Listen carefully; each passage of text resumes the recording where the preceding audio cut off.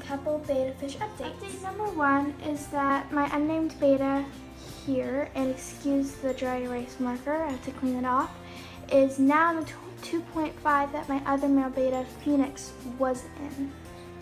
He's doing really, really, really great if you're wondering. Update number two is that my male crown tail betta is now named Bug.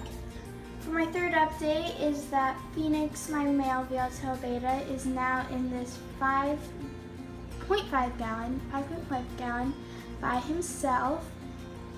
And he's been upgraded since the 2.5 gallon. So here he is, and excuse the cloudy water, it's still clearing up, but he's doing really great in here.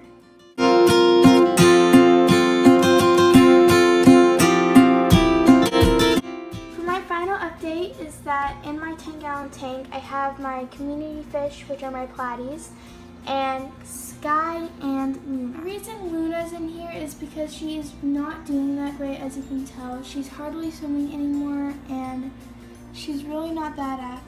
If you're wondering, Sky is doing really great in here.